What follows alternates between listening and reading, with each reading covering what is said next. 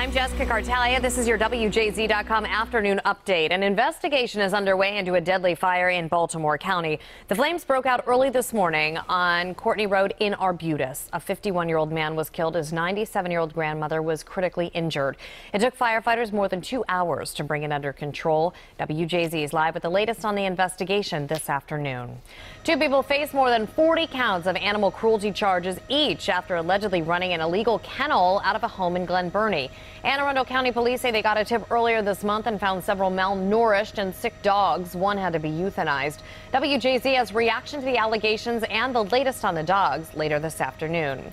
The investigation continues into who hacked into Baltimore's 911 dispatch system over the weekend, prompting a temporary shutdown of automated dispatching.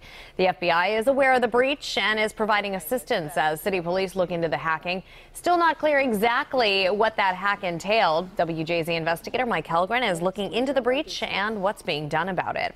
And now let's get an update on the forecast with Marty. Let's go ahead and take a look at a not bad afternoon. Not bad in that there are no surprises going according to script. Cloudy skies, some showers around 54. Still some showers around the night, 46. If we keep going according to script, we'll probably have a pretty good opening day. Mostly cloudy, maybe a couple sunny breaks. I'll only mention a scattered shower. We're not going to write it now. 66 your first pitch, 72 your daytime high. Going according to scripts, good thing. Take it away, Jess.